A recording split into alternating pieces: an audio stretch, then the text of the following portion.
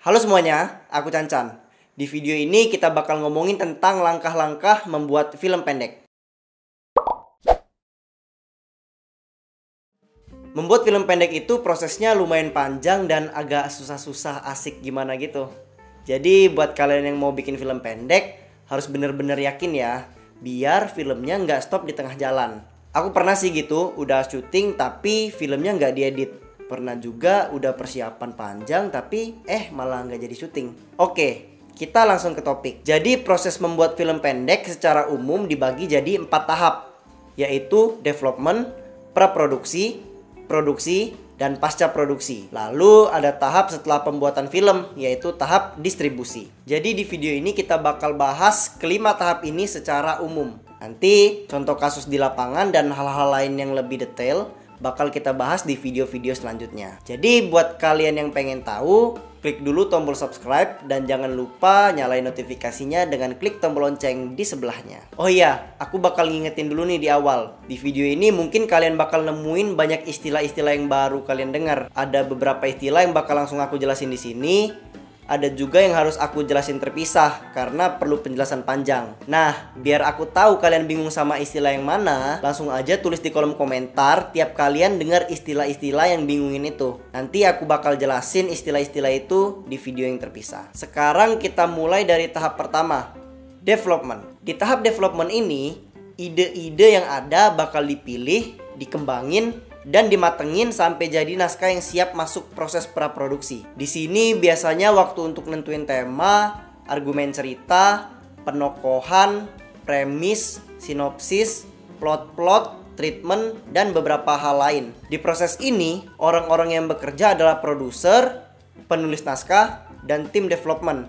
Produser di sini bertindak sebagai supervisi karena dia yang tahu film ini setelah jadi bakal dikemanain. Apa mau diupload ke YouTube, diikutin lomba film, submit ke festival, atau untuk tujuan lain. Dan film yang dibuat harus sesuai dengan target pasarnya. Produser juga yang mencari dana untuk pembuatan film ini. Bisa nyari private investor, ikut pitching program, dan beberapa metode funding atau pencarian dana lainnya. Selain produser, penulis, dan tim development, dalam beberapa kasus ada orang-orang lain yang ikut proses development ini. Misalnya, kalau kita bikin film adaptasi novel, Kadang penulis novel aslinya ikut di proses development ini biar esensi dari ceritanya nggak hilang tapi tetap cocok sama media film. Ada juga beberapa kasus bahkan lumayan sering di mana sutradara ikut di proses ini. Biasanya hal ini terjadi kalau ide ceritanya muncul dari sang sutradara. Apalagi kalau di film pendek. Kayaknya lebih dari 90% sutradara ikut di proses development ini. Kemungkinan lain di proses development adalah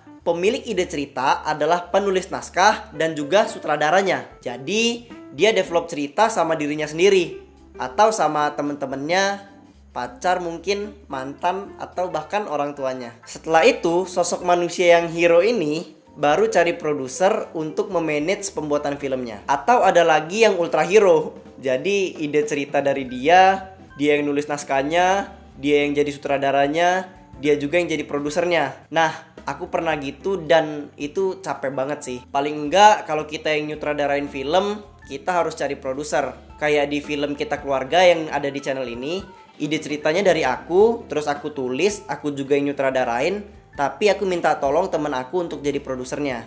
Pokoknya di tahap development ini aturannya nggak saklek banget. Harus begini harus begini tergantung kondisinya aja Apalagi untuk film pendek. Misal di sekolah kita mau bikin film pendek satu kelas nih. Kalian bisa develop cerita dan cari dana bareng-bareng satu kelas. Tapi jangan lupa, tetap ada yang mimpin ya. Kalian tunjuk siapa yang jadi produser, penulis naskah, dan sutradaranya.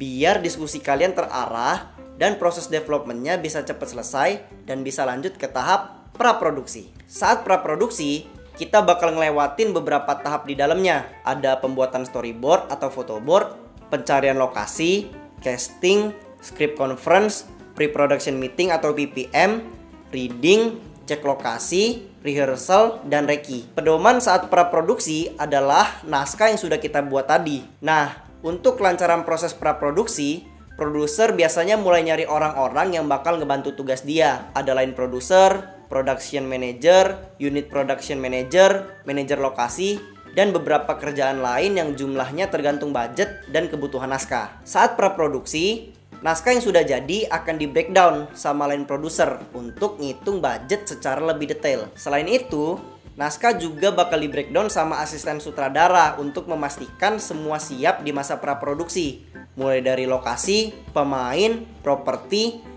dan hal-hal detail lainnya. Setelah itu, asisten sutradara akan membuat shooting schedule yang nantinya bakal dipakai untuk panduan bikin call sheet. Selain orang-orang di departemen produksi, di tahap praproduksi ini juga sudah direkrut orang-orang lain yang bekerja di bidang kreatif. Sutradara punya tugas dan tanggung jawab yang lumayan berat di tahap ini. Dia harus bikin konsep visual atau visi dia terhadap film yang akan dibuat dan mendiskusikannya dengan masing-masing kepala departemen atau sering disebut HOD yang merupakan singkatan dari Head of Department. Sutradara berdiskusi dengan sound designer untuk nentuin konsep suara dan musik film. Sutradara juga berdiskusi dengan Director of Photography atau DOP yang mengepalai departemen kamera untuk nentuin mood, warna, pencahayaan, dan beberapa aspek teknis lainnya. Sutradara juga harus diskusi dengan production designer yang mengepalai departemen artistik untuk membangun dunia film yang akan dibuat. Setelah itu, masing-masing HOD bakal diskusi dengan orang-orang di departemen mereka untuk ngebahas hal-hal yang lebih detail dan teknis pengerjaannya. Lalu setelah semuanya siap, mulai dari konsep sampai ke hal-hal yang teknis, kita bakal masuk ke proses produksi atau syuting. Proses syuting adalah proses yang paling sebentar tapi bakal capek banget secara fisik dan otak. Karena di proses ini semua konsep yang sudah kita buat bakal dieksekusi dengan waktu syuting sekitar 14 sampai 16 jam per hari. Saat syuting biasanya tiap-tiap orang bakal sibuk dengan kerjaan mereka masing-masing. Grip sibuk ngurusin alat-alat mereka. Art director dan tim bakal ngasih sentuhan-sentuhan akhir untuk set yang mereka buat berdasarkan rancangan si production designer. Director of photography juga sibuk diskusi dengan asisten kamera dan Gaffer yang mengepalai departemen pencahayaan untuk merealisasikan konsep visualnya. Sound mixing, sound recordist, dan boomer juga nggak kalah sibuknya. Walaupun biasanya mereka bakal nyuri-nyuri waktu tidur pas anak-anak departemen lain lagi ngeset. Karena departemen suara setnya nggak seribet departemen-departemen yang lain apalagi hitungannya kita syuting film pendek nah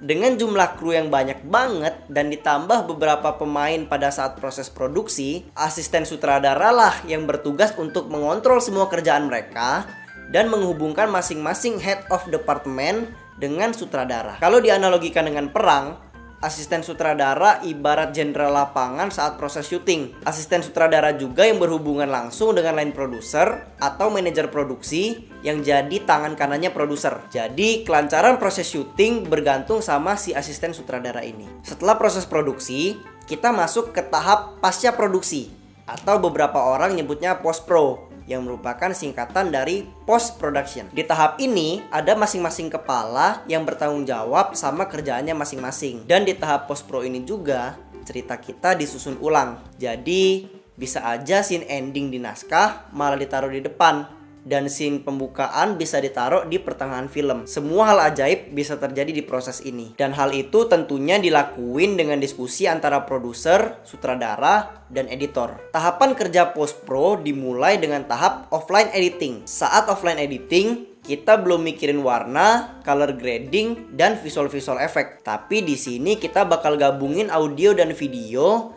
lalu menyusun lagi jadi sebuah film yang baik. Intinya, editing offline adalah menyusun cerita. Urutannya gini, offline editing ini dimulai dari assembling, kemudian menghasilkan rough cut, dan akhirnya sampai kepada picture lock. Picture lock adalah suatu kondisi di mana gambar atau cerita sudah kesusun kembali dengan baik dan sesuai dengan apa yang sutradara, produser, dan editor mau. Setelah picture lock, kita bakal masuk ke proses online editing. File video yang sudah picture lock tadi bakal masuk ke proses pembuatan musik, pengeditan suara, pewarnaan, dan pembuatan visual effects yang bakal dikerjain sama masing-masing orang yang emang khusus bertanggung jawab ngerjain itu. Kemudian, kerjaan mereka bakal balik lagi ke editor untuk difinalisasi. Setelah film selesai diedit, maka sekarang kita masuk ke tahap distribusi dan promosi. Kita bisa distribusiin film pendek kita ke festival film, YouTube, Instagram, Facebook, lomba film, atau ke beberapa platform lain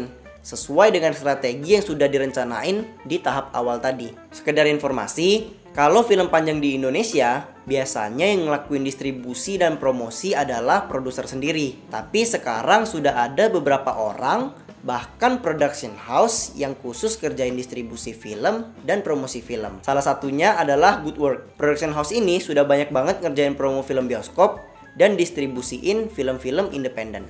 Kalau untuk film pendek, kalian bisa ngerjain bareng-bareng distribusi dan promosinya. Kalian bisa nyari informasi lomba, informasi festival, dan beberapa platform lain yang bisa menampung film pendek kalian. Oke, perjalanan kita dari development sampai distribusi sudah selesai. Semoga kalian ngerti dan jadi semangat untuk bikin film. Kalau ada yang belum jelas, boleh langsung tanya di kolom komentar ya. Dan jangan lupa share video ini ke teman-teman kalian.